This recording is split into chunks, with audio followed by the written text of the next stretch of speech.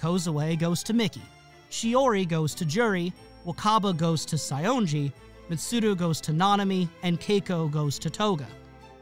The Black Rose duelist then extracts from this person their sword, similar to how Utena would draw the Sword of Dios from Anthy. Here's what I'm thinking. The Sword of Dios represents Anthy's connection to Dios, hence why the sword has that name, hence why Anthy has that invocation as she draws the sword, and the lights happen, and blah blah blah blah. This is also why it's important in the last arc of the series that Utena is no longer using the Sword of Dios. Instead, Utena is using a new sword that represents Anthy's bond with Utena.